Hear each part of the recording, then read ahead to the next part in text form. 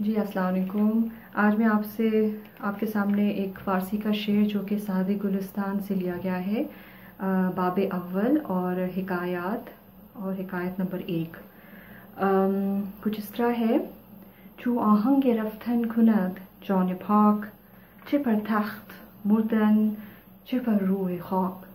اس میں سے کچھ الفاظ آپ نے اندازہ لگا لیا ہوگا کہ اردو میں بھی موجود ہے۔ مثلا آہنگ یعنی ارادہ جون پاک یعنی پاک جان، تخت یعنی تخت، اردو مردن یعنی کہ مردہ۔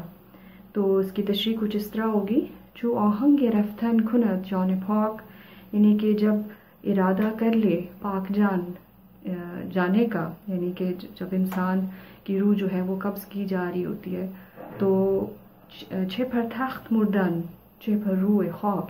تو کوئی فرق نہیں پڑتا۔ یعنی چاہے انسان تخت پہ مرے یا بادشاہ ہو، چاہے انسان خاک پہ مرے یا زمین پہ مرے، چاہے وہ غریب ہو، موت جو ہے وہ برحق ہے۔